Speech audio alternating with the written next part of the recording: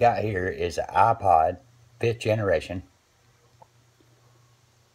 Neat little device. Um, it's been upgraded to iOS 9.3.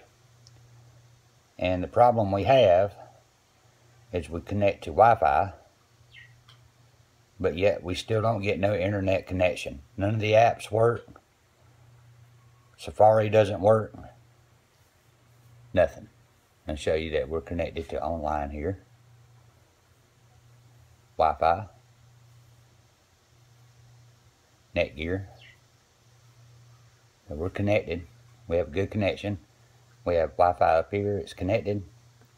I have tried everything. I tried to change, click info, change the DNS gateway to an open DNS like Google 8.8.8.8 dot or 8 8 dot 8 dot 4 dot 4 dot. None of that worked. We tried resetting the network settings. That did not work. Um, we tried everything.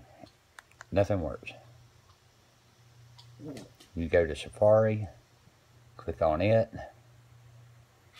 and I put in CNN. We'll do Google. Go to google.com. This is what you get. Safari cannot open page because it could not establish a secure connection to the server. No matter what we did. We've tried resetting it by holding down the home button and uh, power button. Let it reset, come back on. Nothing worked. Um, we even erased all the settings. That did not work. So it seemed like there's an issue with the update. And a lot of people are having this problem. I have found the solution. And it's rather simple. You don't get a pop-up to tell you this, but the time and date stamp is wrong. And if you don't have the right time and date on your device, the internet will not work. So we're going to go to General,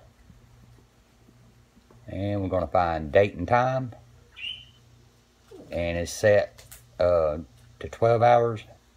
Set automatically is turned off. Time zone Atlanta. Look at this, February the 20th 8th, 2014. That is not the correct year or the day or the month. So we're going to go on here and we're going to change this.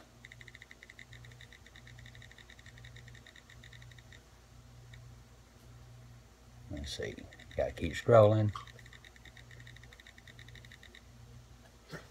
We're up to 2015. Got to keep scrolling. I got to go all the way to 2017. And someone should tell Apple they should make it easier to change the year on this thing instead of doing all this scrolling. There's 2018. I went too far. Let's go back here. Still 2018. Today is August the 3rd.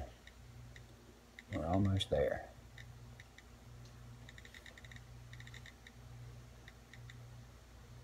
August the 3rd, 2017. 11.10 in the morning. All right, let's go back. Our time is now set. Date is set. The year is correct. Let's go back to Safari and see if this works. Refresh. There's Google.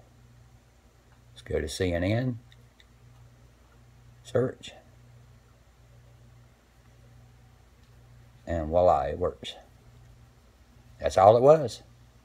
You don't get a pop-up or anything letting you know that's the problem. So if you have an iPod or an iPad or an iPhone that you've updated to uh, 9.3 and your internet's not working, even though you connected to Wi-Fi, check your time and date and the year. Make sure to check the year too and see if that's your problem. I guarantee it is.